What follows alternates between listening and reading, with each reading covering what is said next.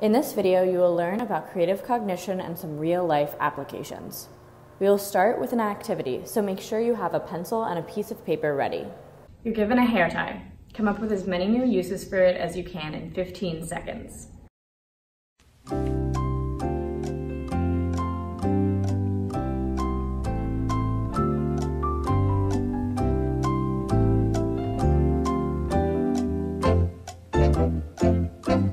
Time's up. What did you come up with?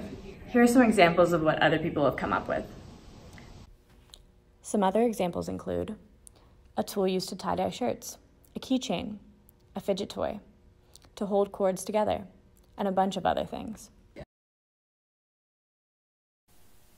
Ronald Finke developed the technique of creative cognition by having participants randomly select three objects and gave them one minute to create a new and interesting looking object from them.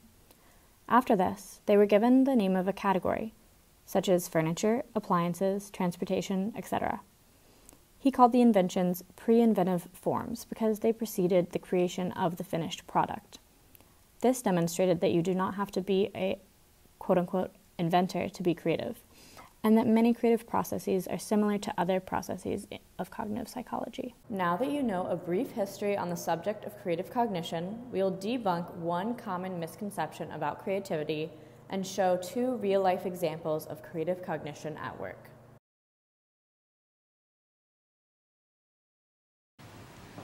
Hey, Hey, what's up? I'm really worried about this cognitive psych project I have. What do you mean? Well, my group has to be creative and I'm super left brain. I mean, that's the reason why I'm an accounting major in the first place. Oh, is that how that works? Yeah, check it. Oh, okay.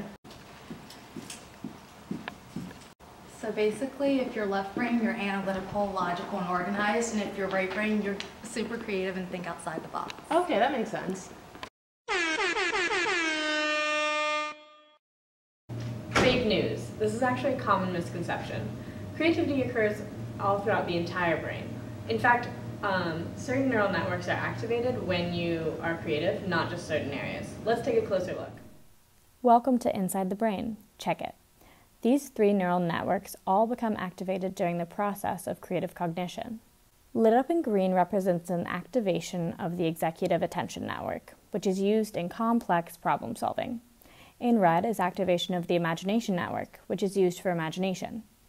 Th- then there's the salience network, which is shown in yellow, and that directs one's focus. Studies have shown that children can develop their creativity at a faster rate than adults. These findings are demonstrated in the next scene, which follows a child and an adult over the course of five weeks of piano lessons. Let's take a look at their progress.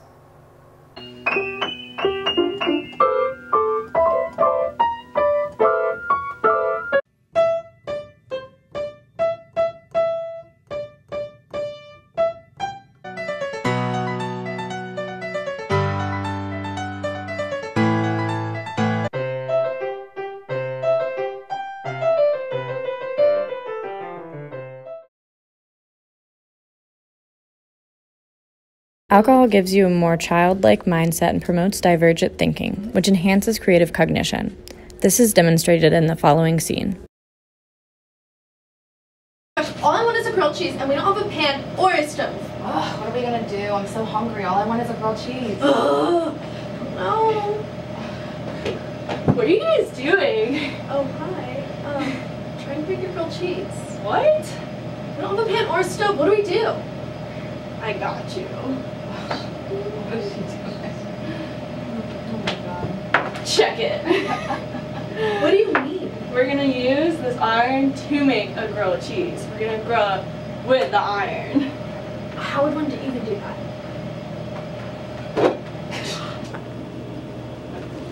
Whoa. Oh my god. That's sick, dude. Research shows that some aspects of creative cognition are enhanced while under the influence of alcohol. Neural networks are spread throughout the whole entire brain, so the idea of someone being left brain and right brain is a myth. And in order to engage in successful creative cognition, use of all three neural networks is necessary, so too long an imbalance can decrease task completion and imagination. Children have greater flexibility in learning than adults, resulting in more growth in learning and creativity. Some aspects of creative cognition are enhanced while under the influence of alcohol.